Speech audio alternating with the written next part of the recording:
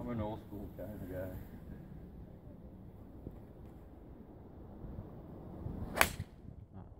We are.